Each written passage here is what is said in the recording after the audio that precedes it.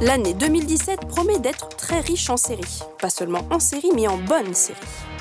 Cette semaine, histoire de préparer vos agendas, nous en avons sélectionné 5 à ne manquer sous aucun prétexte. Cheers.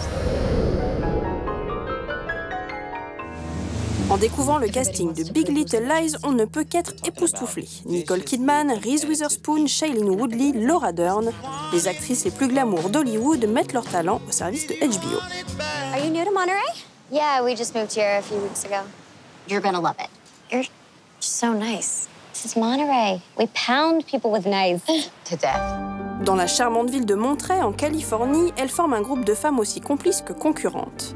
Alors qu'un meurtre a été commis, la petite communauté éclate et les secrets des habitants se dévoilent. She's a mom, just young. Like you used to be? Like we used to be? Ticking bomb. I'll leave it at that. Itty bitty ball of rage. Battle lines were drawn. Things never blow over. They blow up. La mini-série est entièrement réalisée par le cinéaste Jean-Marc Vallée, récompensé pour son magnifique Dallas Buyers Club, mais aussi les très beaux Demolition et Wild. So we're like seriously using the word murder? You should knock on my door more often, Alicia. I will. You're doing a good job. My apologies if I haven't told you that until now.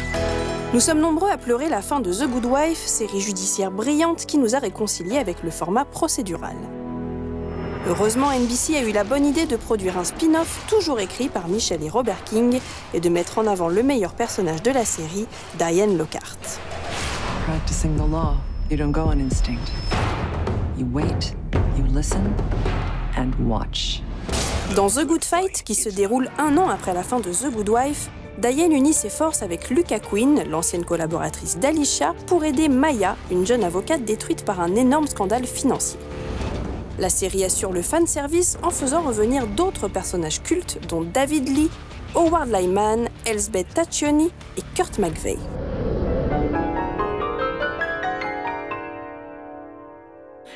Plusieurs séries, dont Blackish, sont revenues sur l'abandon total de poursuites contre des policiers blancs responsables de la mort de citoyens noirs aux États-Unis, malgré l'indignation du peuple américain et les manifestations qui ont secoué le pays. 17-year-old Joey Campbell was murdered three weeks ago. No investigation.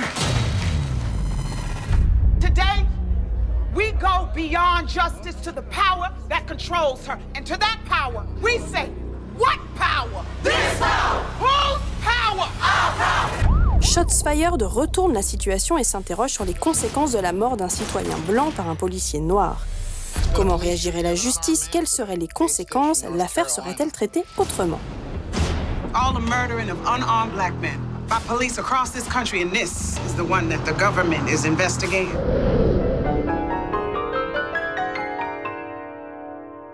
Avant les rires aux éclats dans les salles combles, avant les tournées, avant le succès, il y a la galère. Celle de Pete Holmes, un comédien de stand-up new-yorkais que la vie a décidé de torturer. Tonight. Mm. Sa femme Jess vient de le quitter pour son amant, il n'a pas un centime en poche et sa carrière de comique est au point mort. My wife slept with somebody else today. Oh boy, Yeah, oh boy. Uh, go write some jokes. Commence alors sa quête existentielle pleine de rencontres plus ou moins heureuses, de soirées dans des clubs de stand-up miteux et de quelques beaux moments de bonheur. Pete trouvera-t-il sa place parmi les comiques qui dérident les habitants et les touristes de la Grande Pomme? Rien n'est moins sûr.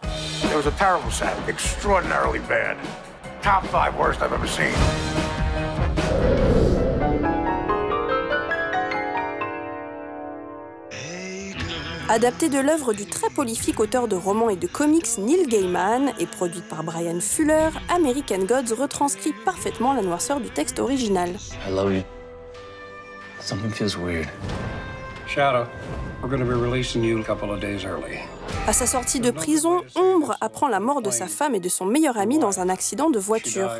À bord de l'avion qui le ramène chez lui, il se fait embaucher comme garde du corps par Voyageur, un étrange personnage qui s'avère être l'ancien dieu nordique Odin. Either the world is crazy.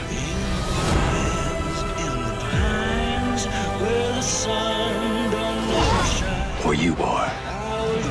Voyageur tente de rallier à sa cause les autres anciens dieux pour mener une guerre sans merci aux divinités les plus récentes de l'Amérique, que sont les voitures, Internet, la télévision et les médias. Et bonne année série, bien sûr